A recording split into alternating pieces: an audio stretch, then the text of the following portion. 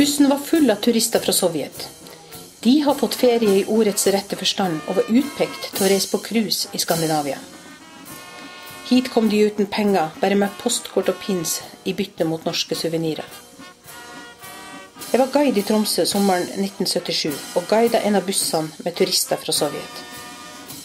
Faste stopp var Tromsø museum, Ishavskatedralen og Fjellheisen. Turistene var interessert i det de fikk se, men unnskyldte seg smilende med at de ikke kunne engelsk.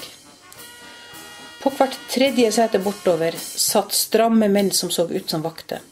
Og det var de som snakka på vegne av alle. Turen opp fjellheisen var populær. Hvis det går an å ha kontakt uten ord, ja, så har vi det. Det var en fin tur med trivelige folk.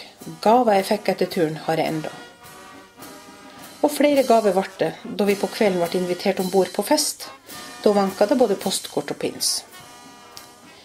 Kapteinen tok oss Tromsøguider med for å vise oss båten. Vi kom helt opp i styrhuset, der et rom bakerst sto halvveis åpent.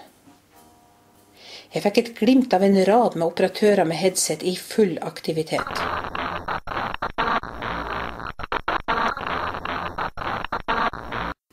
Med en rask bevegelse tok kapteinen tak i forhenget og stengte for innsyn. Elegant og vennlig, som om alt var helt i sin skjønneste orden var da et uttrykk for den kalde krigen jeg var vitne til. Dagen etter var det lørdag, og det var folksomt i gatene. Jeg møtte på flere av turistene fra dagen før. De var ute i små grupper.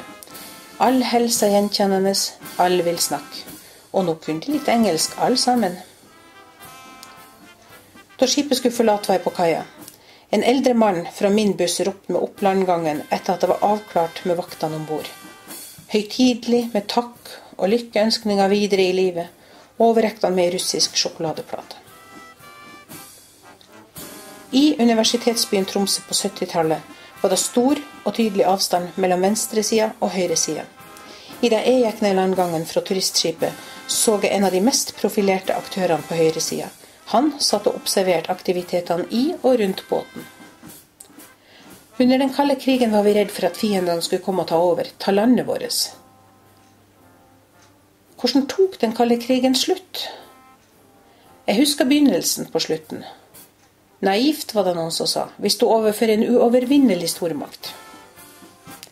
Likevel ga det håp om forandringer da de første signalene om et åpnere regime kom.